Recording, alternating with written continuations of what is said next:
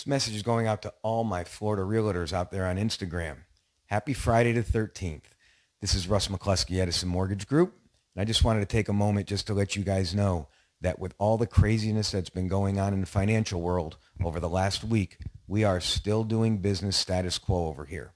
So if there's anything that you guys need over the weekend while you're out showing houses around the entire state of Florida, if you need to get a client pre-qualed, if you need a pre-qual letter for your offer to put in, please give me a shout at 239-633-4663.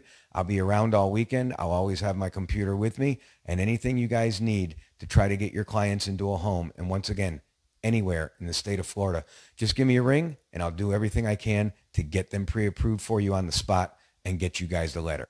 Thank you all very much and have a great, safe weekend. Take care.